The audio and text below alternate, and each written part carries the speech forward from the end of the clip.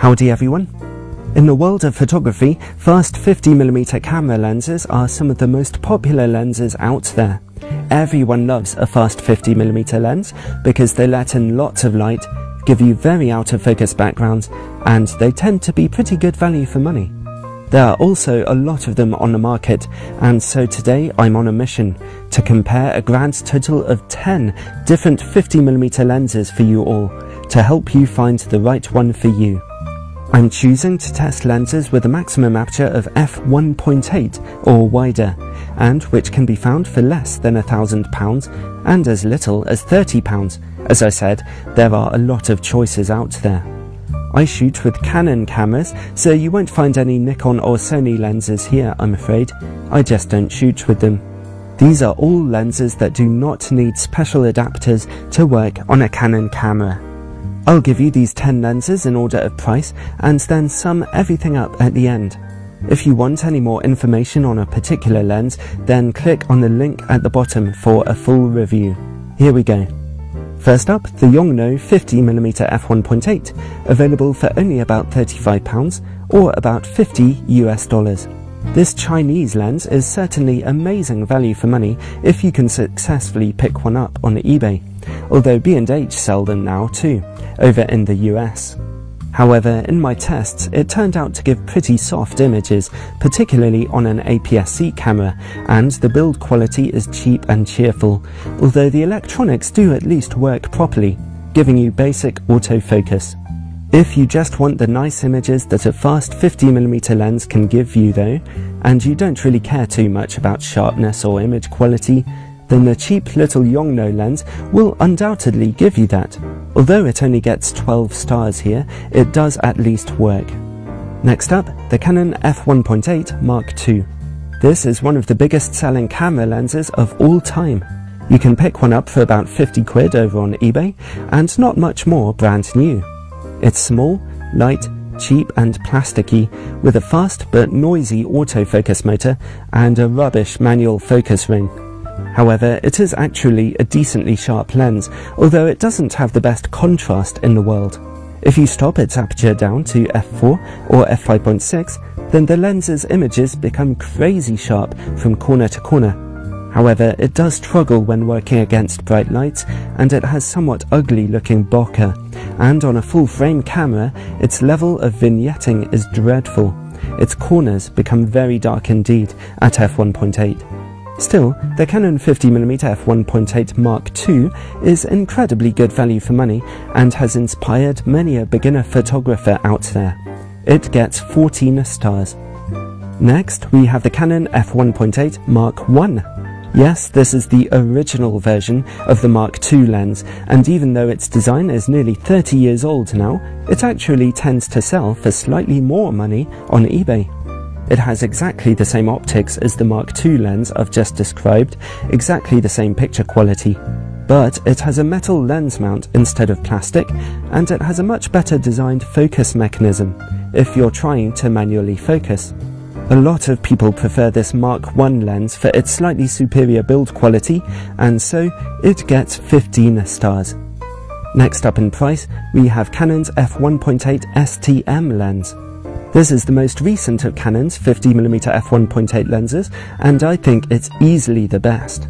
This new STM version may cost £100, but its very good build quality makes it worth the extra money compared to its older brothers. It has a metal lens mount, a quieter STM autofocus motor, which is good for video work, 7 aperture blades instead of only 5, and it handles flaring a lot better than the older two lenses. It's even a little smaller than the Mark II and Mark I lenses, and it can focus much closer. However, apart from that, its picture quality is about the same. It's no sharper than the older lenses, and it still has that somewhat weak quality bokeh. Still, it's a fantastic way to spend £100, and it gets 19 stars. Next up in price, we have the Canon 50mm f1.4 USM the first f1.4 lens in this list.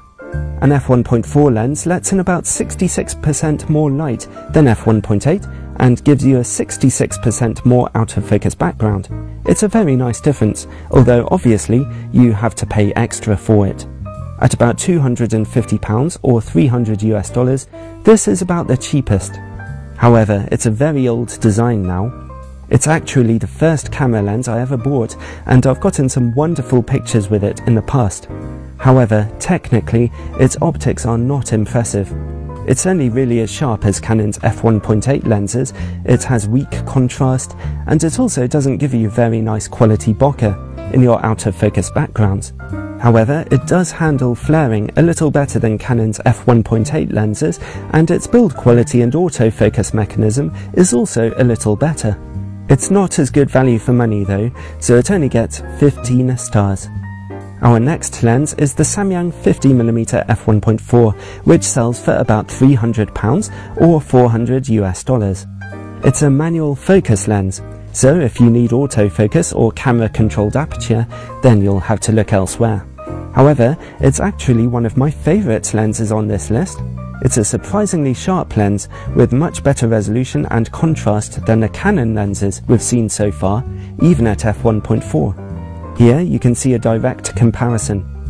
It also displays a bit less vignetting due to its large front element, and it has pretty much the nicest quality bokeh out of all these lenses. Those out of focus backgrounds almost always look perfectly smooth. I have to deduct marks for it being a manual focus lens, although its build quality is actually pretty good, with a very smooth focus ring. Its great picture quality means that it gets 20 stars. Next up, we have the Sigma f1.4 EX HSM, which is about the same price, about £300 or 400 US dollars. Some dealers list it as being a tiny bit more expensive than the Samyang lens. Anyway, the Sigma 50mm f1.4 HSM is another excellent optic.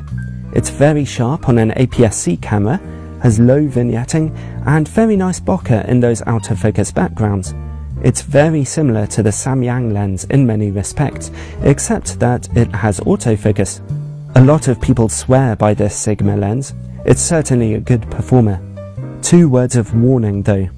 Firstly, its autofocus mechanism is notorious for being frustratingly inaccurate, which was certainly my own experience with the lens.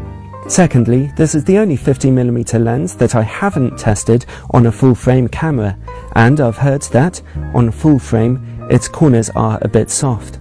So that's something else to consider. Other than that though, it's a great lens that gets 21 stars. Next, we have the Zeiss ZE 50mm f1.4. Now we're heading into more expensive territory as this manual focus lens costs around £400 or about 550 US dollars. Zeiss lenses are normally a class act, but this piece of kit is an anomaly in that respect, as it actually has rather poor optics. A few people will be surprised at me saying that, but check out my full review of the lens. It's not really very sharp when you're shooting at f1.4 or f2. It has problems when shooting against bright lights, and the quality of its bokeh is really bad, being full of ugly highlighting unless you stop the aperture down. It does at least have beautiful build quality, being made with lots of metal. However, having to pay such a lot of money for a lens that's so optically weak and doesn't even have autofocus means that this piece of kit is terribly overpriced. I'm forced to give this lens only 12 stars. If that does sound surprising to you, please do take a look at my full review for more information. Our penultimate lens is the Sigma 50mm f1.4 Art, costing about £650 or 900 US dollars. This is an expensive piece of kit, but expensive doesn't necessarily mean bad value for money, if you're getting what you pay for. The Sigma f1.4 Art lens is a class leader in all kinds of ways. Straight from f1.4, it gives the sharpest images out of all these lenses, and if you stop down its aperture, it becomes ridiculously sharp. It also has no distortion and comparatively low vignetting, and a good enough autofocus mechanism, as well as generally lovely build quality. Its only weakness is that it's rather big and heavy, and its bokeh perhaps isn't quite as good as Samyang's 50mm lens. But the sharpness of this Sigma lens is astonishing, making it good value for money despite its high price, and so it gets a whopping 23 stars. Our final lens is the Canon 50mm f1.2 USM-L. It's the only f1.2 lens on this list, and you certainly have to pay for that extra brightness. This lens cost about £950 or 1400 US dollars, a huge amount of money. While f1.2 is a very bright maximum aperture, do bear in mind that it only lets in about 33% more light than an f1.4 lens, and only gives you 33% more out of focus backgrounds. That's not a big difference. Anyway, this Canon lens is not the sharpest around. On a full frame camera, its corners are really very soft. It suffers from strong vignetting and some barrel distortion. However, it has very good contrast and it can handle bright light pretty well. It gives you slightly more out of focus backgrounds than the other lenses here, However, the actual quality of that bokeh itself could be a little bit smoother. It has wonderful build quality and it handles extremely well in use. However, its extortionate price and somewhat average optics make it poor value for money, unless you happen to really need that extra light gathering ability and rugged build quality. It gets 19 stars. Well, let's try to sum everything up. The cheapest lens is the little Yongnuo, but if you were to ask me what the best value lens is, then it's definitely the Canon 50mm f1.8 STM. It's a lovely little lens with good features for a very low price, and I think all beginner photographers should consider getting one. The best value f1.4 lenses also happen to be the two camera lenses in this list with the best quality bokeh the Sigma 50mm f1.4 EX HSM and the Samyang 50mm f1.4 both give you beautiful images with lovely out of focus backgrounds and less vignetting than other lenses, not to mention very good levels of sharpness. The Sigma lens has an autofocus motor, albeit quite an inaccurate one, while the Samyang lens is supposedly a little sharper in the corners of its images on a full frame camera. If you have money to spare and you need the sharpest lens on this list, the best lens for professional use, then the Sigma 50mm f1.4 art lens is an astonishing performer, a really technically accomplished camera lens. It really does offer the best image quality for a 50mm lens under a thousand pounds. The images it gives you can really make you smile.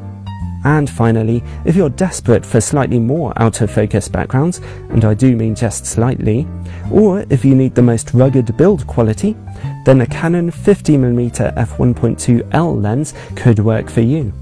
It's mostly wedding photographers who buy that lens and can afford to.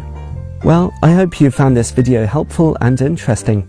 Let me know your own 50mm lens experiences in the comments below, and as usual, subscribe for more photography videos. Ciao!